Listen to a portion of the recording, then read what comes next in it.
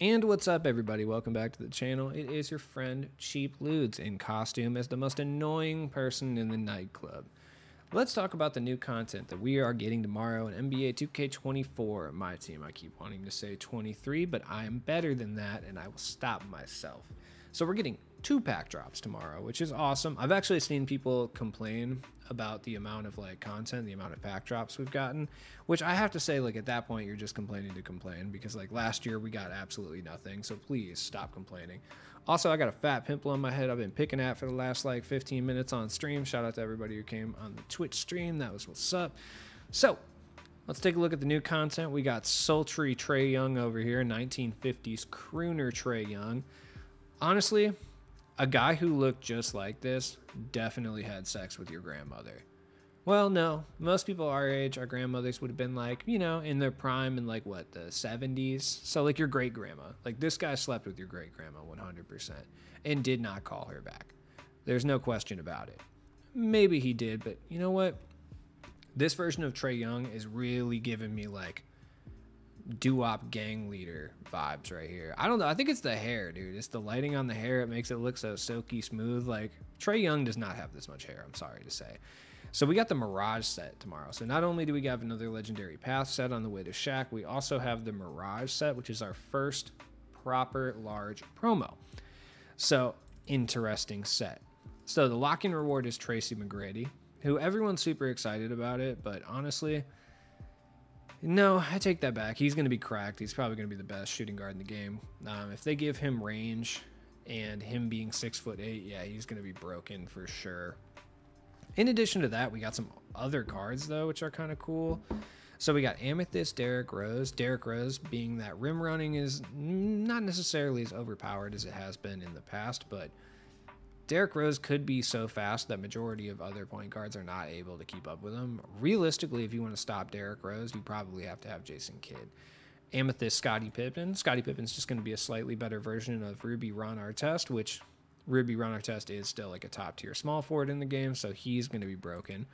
Ruby DeMarcus Cousins could be interesting, actually. Um, he's one of the cards from the set that I think is a little bit of a sleeper, overlooked, so to speak, because I do think that like DeMarcus Cousins, man, like if he is if he can shoot it all, like with it, he's going to be able to ball handle for sure. He's going to be relatively fast, but if he can shoot even like a relatively high clip, he might be out here, man. He might be one of the best big men in the game at this point.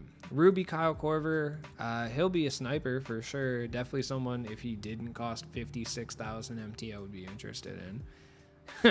Ruby Karl Malone. No, dude. No, it's too early for young homie Karl, man. No, not Karl Malone. Oh, man. All right, well, we're getting young Karl out here if you're interested. Uh, Sapphire Jameer Nelson. Not really too excited about Jameer Nelson. I mean, maybe he'll be fun, but whatever. Uh, another sleeper from the set, Andrea Bargnani. Like, everybody's been running Raef LaFrentz. Like Raef LaFrentz has gotten a lot of run in this game, and Bargnani is usually like a slightly better version of Raef LaFrentz, right? So I'm excited for Bargnani. That's definitely someone that I'm going to pick up It's like my bench center because Giannis isn't going anywhere. Uh, honestly, Sapphire Jason Richardson as well. Uh, usually a dunker, can usually shoot. He'll be a pretty solid shooting guard. Emerald James Posey might be decent too. Might be a decent 3 and D option. We'll kind of see what's up with that. Emerald Chris Kaman might not even be too terrible either. Shout out to all my receding hairline homies for sure, because Chris Kaman's gonna hold it down. Chris Kaman, all he does is go on social media and just post guns all the time. like that's all he does. His whole social media is just him with like assault rifles. And uh yeah, honestly, it makes total sense for sure. Emerald Chris Birdman Anderson. I mean, I guess I'm not going to use them, but like, I, I, guess like Birdman's out here, cool.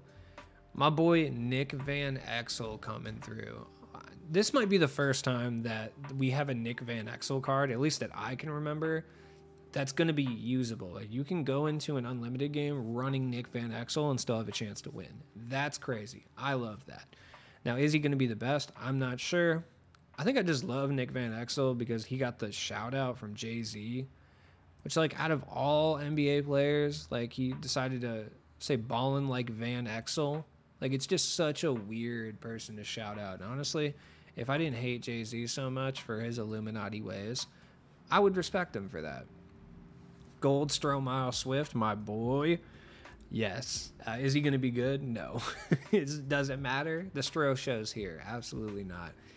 Uh, Hakim Warrick, who I remember being really hyped on uh, when he came out of college, and then uh, yeah, him being really not great at all. So that's cool.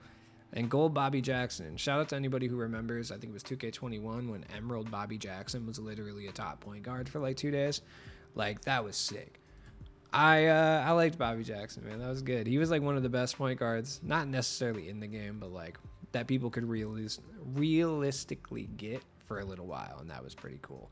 So the Mirage set is kind of interesting. I mean, like T Mac is obviously going to be the creme de la creme like Scottie Pippen and Derrick Rose are going to be good as well, and I think Decuz will be really good, but it just kind of depends.